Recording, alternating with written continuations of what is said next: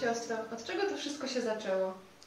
Zgromadzenie sióstr małych misjonarek miłosierdzia zostało założone przez świętego Alojzego Orionę. Było to 29 czerwca 1915 roku w Tortonie. E, Ksiądz Orione jeszcze jako 23-letni kleryk, otwarty na działanie Ducha Świętego, ufając całkowicie Bożej opatrzności, żyjąc blisko ubogich, Kościoła i papieża, poczuł w sercu silne pragnienie stworzenia czegoś pięknego w Kościele przez założenie właśnie małego dzieła boskiej opatrzności, a tym samym wniesienia nowej nuty do tej symfonii miłości, którą chciał skomponować i wyśpiewać, zaczynając od swoich czterech miłości. Pamiętacie jakich? Jezusa ukrzyżowanego, Maryi papieża, i dusz. No właśnie.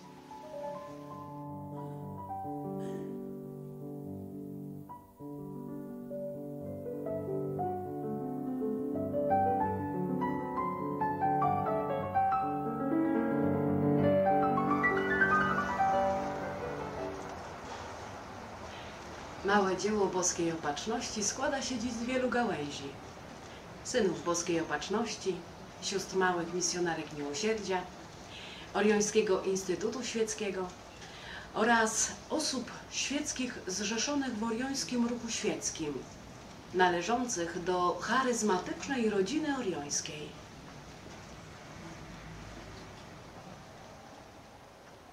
Święty Alojzy Orione, urodzony w Ponte Curone w 1872 roku Zmarły w Sanremo w 1940 i kanonizowany w 2004 roku, pozostawił siostrom małym misjonarkom miłosierdzia i całemu Kościołowi przepiękne dziedzictwo.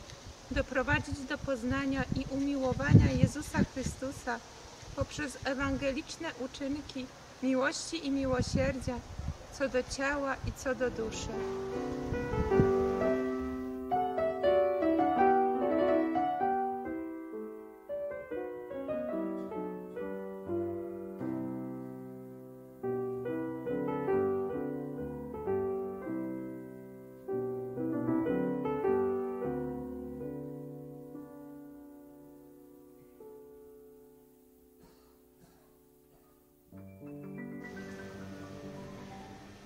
Nazwa zgromadzenia Siostry Małe Misjonarki Miłosierdzia ukazuje zaskakujące piękno i aktualność jego powołania i misji.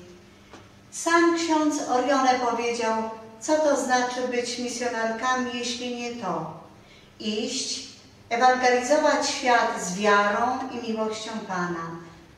Tylko miłość zbawi świat. Miłość jest naszym uprzywilejowanym sposobem ewangelizacji i budowania Kościoła, prowadząc wykluczonych z marginesu do centrum, do samego serca Kościoła i społeczeństwa.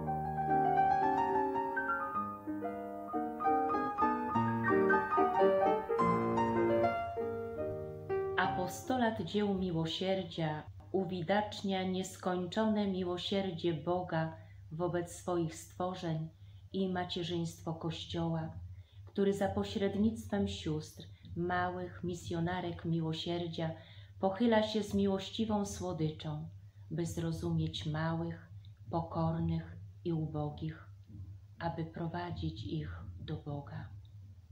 Jako matki w służbie życia, siostry małe misjonarki miłosierdzia, obecne na czterech kontynentach i w dziewiętnastu krajach, opiekują się biednymi, chorymi, głodnymi, spragnionymi, służąc Synowi Człowieczemu w człowieku.